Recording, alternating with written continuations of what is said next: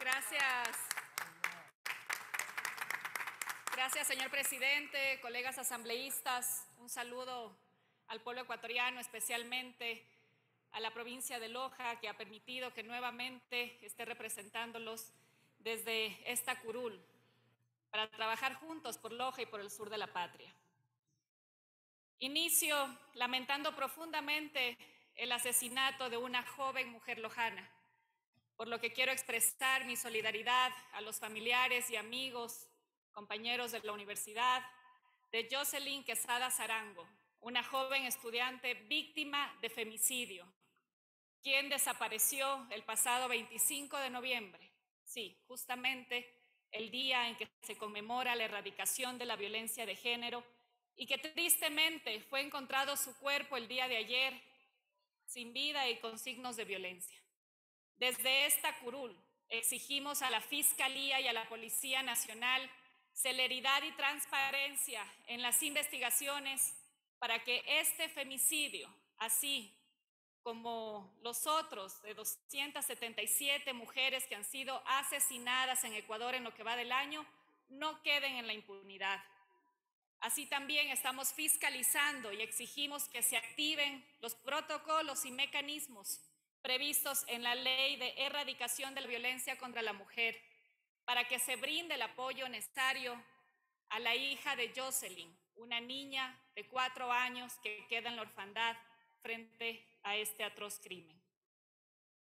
Ya entrando en la materia, colegas legisladores,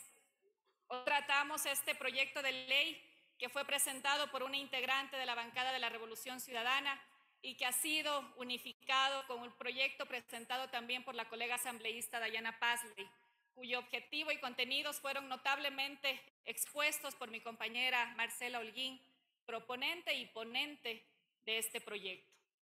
Esta ley que busca eliminar la brecha salarial de género, sin lugar a dudas, da un paso más en el largo camino para construir una sociedad más justa y equitativa. Una sociedad en la que tanto mujeres como hombres sean reconocidos en igualdad de condiciones por el trabajo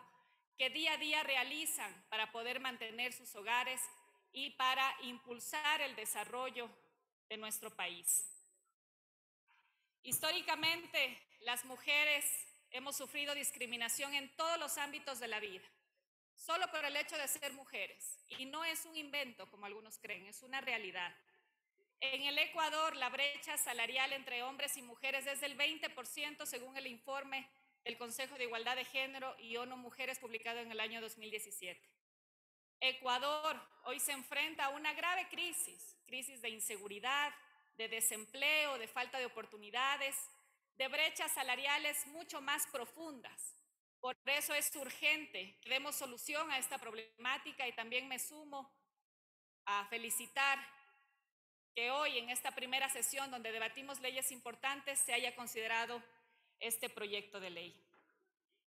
Gracias a esta ley hoy nos sumamos a países como Islandia, que ha encabezado esta lucha por eliminar la brecha salarial de género al implementar en su ordenamiento jurídico leyes que exigen a las empresas demostrar que están pagando de manera equitativa a hombres y mujeres, permitiendo identificar las inequidades salariales. Otro ejemplo es Alemania, con su ley de transparencia salarial que hace que las empresas con más de 200 personas revelen información sobre la brecha salarial de género, impulsando a que estas empresas adopten medidas correctivas. En nuestra región tenemos Argentina, que implementó la ley de protección integral para prevenir y sancionar y erradicar la violencia contra las mujeres en los ámbitos en que se desarrollen sus relaciones interpersonales, reconociendo de esta manera la importancia de garantizar la igualdad salarial como parte integral de la protección de los derechos de las mujeres. Otro ejemplo de la región también es la legislación chilena,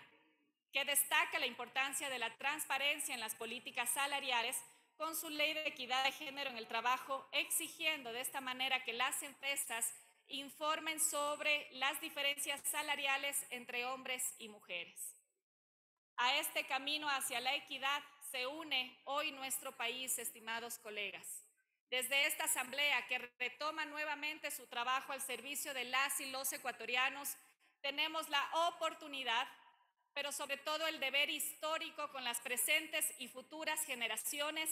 de aprobar esta ley orgánica para la igualdad salarial entre mujeres y hombres, una ley que sin lugar a dudas avanza en la protección y desarrollo de los derechos humanos para garantizar que las remuneraciones sean iguales en el desempeño de una misma labor y así reducir la brecha salarial entre mujeres y hombres, teniendo los empleadores la obligación de reportar al Ministerio de Trabajo las acciones implementadas para conseguir este objetivo. Así también los empleadores que cumplan con sus obligaciones legales en cuestiones de género recibirán una certificación de cumplimiento por parte de esta cartera de Estado.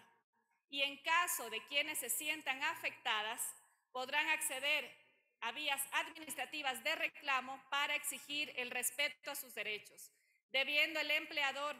responder a la persona trabajadora y que sea el Estado a través de sus instituciones quienes garanticen los derechos de las mujeres trabajadoras. Como integrante de la Comisión de Derecho al Trabajo y a la Seguridad Social, me llena de satisfacción haber aportado al inicio de este periodo legislativo en esta ley junto a los comisionados para que hoy demos un paso más hacia la igualdad. Para concluir, estimados compañeros y compañeras, es indispensable que sigamos trabajando por una sociedad donde la igualdad salarial entre mujeres y hombres no sea solo un objetivo, sino sea una realidad entendida y aceptada por todos los elementos sociales. Desde esta curul que le pertenece al pueblo de Loja y que le pertenece también a las y los trabajadores, a las mujeres y a los jóvenes de la patria, seguiremos legislando para construir un país donde todas las personas seamos respetadas y valoradas como seres humanos y nunca más seamos discriminadas por ningún motivo, mucho menos por nuestro género. Gracias, señor presidente, colegas asambleístas.